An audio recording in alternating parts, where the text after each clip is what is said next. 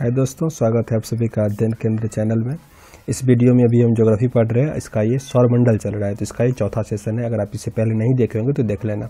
और हाँ एक बात बताना था कि मैंने पिछले वाले वीडियो में मीन्स सबसे बोल दिया था, सबसे अधिक सेटेलाइट जो है वो स्टर्न के पास है, स्टर्न के पास। पर सबसे अधिक प्लानट का जो सेटेलाइट है, वो किसके पास है? जुपिटर के पास है। जुपिटर के पास अगर हम अभी बात करें वर्तमान में तो कितना है? Seventy nine seventy nine. और वहीं अगर स्टर्न की बात करें तो उसके पास है सिक्सटी टू सिक्सटी टू। तो याद रखोगे, सबसे अधिक किसके पास है? जुपिटर के पास। और सबसे कम किसके पास है? वो मार्स और वेनस के पास नहीं है। इम्पोर्टेंट है। चलो स्टार्ट करते हैं। वर्ष दीर्घतम होता है मीन्स किस प्लानट का जो वर्ष होता है एज सबसे अधिक होता है। तो जो सबसे लंबे समय तक चक्कर लगाएगा, लंबे टाइम लगेगा तो किसको? नेपट्यून को। कितना लग जाता है? 84 ईयर बहुत अधिक है।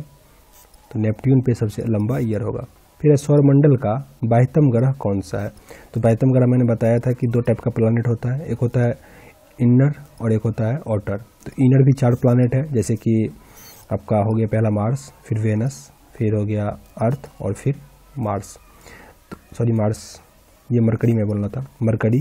वेनस, अर्थ और मार्स। और उसके बाद जो भी प्लानट है, जैसे कि जुपिटर सेटर्न यूरेनस और नेपट्यून तो ये सारे क्या है ऑटर प्लानट है। तो यहाँ से पूछा जा रहा है आपसे कि बाह्यतम ग्रह कौन से है? तो बाह्यतम प्लानट इसमें से कौन सा हो जाएगा? तो यहाँ पे ये तीनों है। यहाँ पे क्वेश्चन ने गलत कर दिया है। यहाँ पे नहीं लगाना था और आंसर क्या होता? पृथ्वी। ठीक है ना? ये सारे बाह्यतम है। नेक्स्ट है यम अथवा कुबेर मीन्स प्लूटो की खोज सन 1930 में निम्न में से किस खगोल शास्त्र द्वारा किया गया था? Clyde Tombaugh, Clyde Tombaugh. फिर निम्नलिखित में से किस आकाशीय पिंड की परिक्रमा और परिभ्रमण दोनों गति में बराबर समान मीन्स एक ही टाइम लगता है, चाहे वो परिक्रमा करे, चाहे वो परिभ्रमण करे। तो वो है चंद्रमा को, चंद्रमा। नेक्स्ट है, कौन सा खगोलीय पिंड रात की रानी कहलाती है? चंद्रमा। चंद्रमा को कहा जाता है रात की रानी।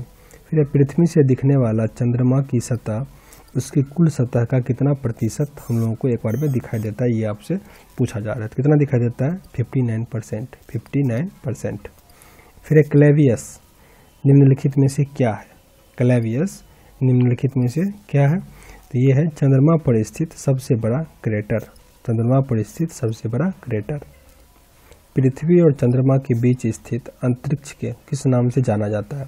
तो सिस लूनर, बहुत इंपॉर्टेंट प्रश्न है, बहुत और पूछा गया है। सिस लूनर, पृथ्वी और चंद्रमा के बीच के भाग को क्या कहा जाता है? सिस लूनर।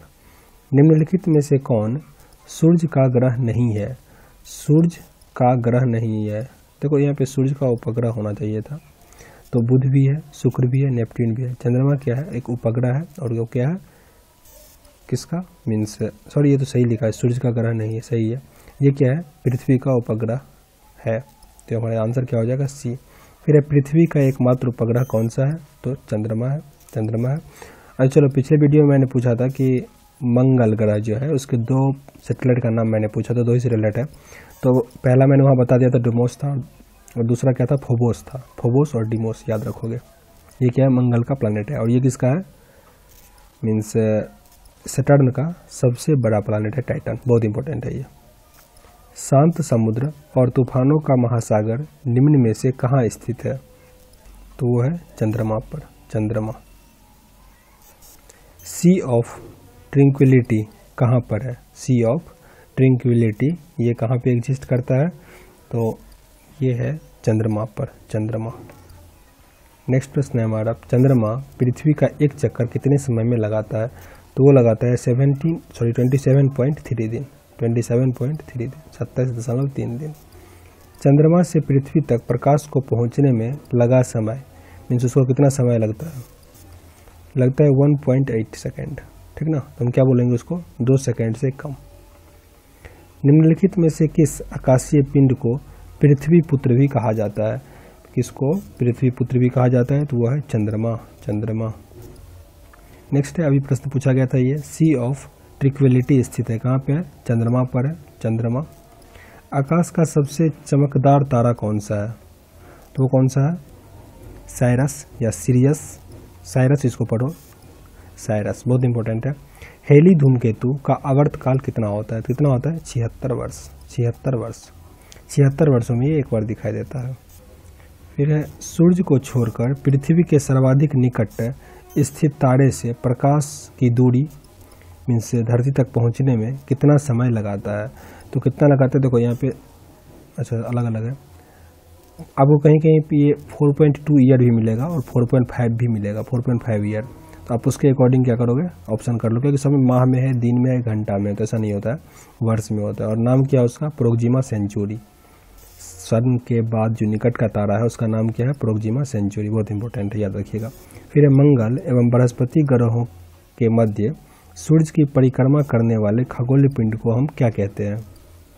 तो उसे हम क्षुद्र ग्रह कहते हैं। क्षुद्र ग्रह, या उसे एस्ट्रॉयड बेल्ट भी कहा जाता है। एस्ट्रॉयड बेल्ट जो इनर प्लानट आउटर प्लानट को डिवाइड करता है, ठीक है ना? इसको एस्ट्रॉयड बेल्ट भी कहा जाता है इंपॉर्टेंट है ये। आपसे प्रश्न ऐसे भी आएगा कि एस्ट्रॉयड बेल्ट जो है, किन दो ग्रहों के बीच सॉरी किन दो हाँ ग्रहों के बीच पाया जाता है तो वो होता है मंगल और बृहस्पति के बीच। फिर है क्षुद्र ग्रह जिन दो ग्रहों के बीच पाया जाता है तो मैंने अभी ज़िक्र किया, मंगल और बृहस्पति, मंगल और बृहस्पति। नेक्स्ट है, सर्वप्रथम खोजा गया क्षुद्र ग्रह कौन सा था? तो सीरस सीरस। धूमकेतु के पूछ सूर्य के परिदृष्ट होता है। देखो, उसमें क्या होता है कि जैसे सन यहाँ पे है तो धूमकेतु इस शेप में होगा पूछ तो पूछ हमेशा सूर्य से क्या होता है? दूर होता है। तो आप आसानी से कर सकते हो सूर्य से दूर उसका, मीन्स पूछ जो होता है सूर्य से दूर होता है। तो पढ़ लो सूर्य द्वारा उत्सर्जित विकिरण धूमकेतु पर भैज्य दाब डालता है, जिससे उसका पूछ क्या होता है? सूर्य से दूर होता है। तो आंसर हमारा क्या हो जाएगा? सी। नेक्स्ट है क्षुद्र ग्रहों क्षुद्र ग्रहों के विषय में निम्नलिखित कथनों पर विचार कीजिए। तो क्षुद्र ग्रह सूर्य की परिक्रमा करने वाले विभिन्न आकारों के चट्टानी मलबे हैं। बिल्कुल सही है, ये उस क्षुद्र ग्रह वही होता है जैसे मैंने कहा बेल्ट, जो भी अवशिष्ट पदार्थ घूम रहे हैं तो उसी का वो एक क्या है, छल्ला है। फिर अधिकांश क्षुद्र ग्रह छोटे हैं, किंतु कुछ व्यास एक हज़ार किलोमीटर तक बड़ा है तो कुछ छोटे हैं, कुछ बड़े हैं, ये भी सही है। क्षुद्र ग्रह की कक्षा बृहस्पति और शनि के बीच नहीं है, नहीं, बृहस्पति और मंगल के बीच है। तो बस ये हमारा गलत हो गया। तो सी इसका सही आंसर है। नेक्स्ट सूर्य ग्रहण होता है। तो सूर्य ग्रहण कब होता है? जब चंद्रमा जो होता है, पृथ्वी और सूर्य के मध्य आ जाता है। जब चंद्रमा जो होता है, पृथ्वी और सूर्य के मध्य आ जाता है जिससे सूर्य पूरी तरह स्पष्ट दिखाई नहीं देता है। अच्छा ये तो हो गया चंद्र ग्रहण। सूर्य ग्रहण कब होता है, ये आप मुझे कमेंट बॉक्स में बताओ तो कैसे लगता है? फिर पूर्ण ग्रहण। पूर्ण सूर्य ग्रहण के समय सूर्य का कौन सा भाग दिखाई देता है? देखो, ये बहुत इंपॉर्टेंट है। किरिट या करोना कहा जाता है, करोना। करोना अगर आप इलेक्ट्रिसिटी पढ़ोगे तो करोना वहाँ पे भी एक साउंड इलेक्ट्रिसिटी जब पास करता है। तो हिसिंग साउंड वहाँ पे करोना बनता है। तो लेकिन ये करोना अलग है। ये क्या है? लगभग यही हम बोल सकते हैं कि यही है। जैसे देखो, कहीं कहीं पे जब इलेक्ट्रिक शॉर्ट लग रहा होता है ना, या हाई हाई वोल्टेज करंट जाता रहता है तो वहाँ पे आपको एक बैगनी कलर का कलर नज़र आएगा। जहाँ पे हिसिंग साउंड भी आते रहता है।